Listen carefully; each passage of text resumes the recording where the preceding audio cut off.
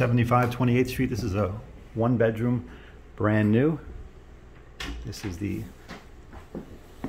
living area. As you can see, very nicely furnished. This apartment's ideal for one person. It's not a big apartment. It's gorgeous, but not a big apartment.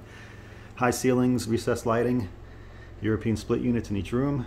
You have a washer dryer here in the closet. A small pet will be considered on a case by case basis. See here, take a look.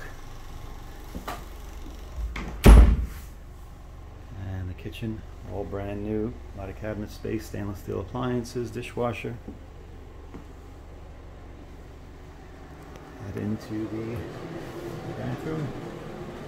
Once again, all brand new like the rest of the unit. And the bedroom here.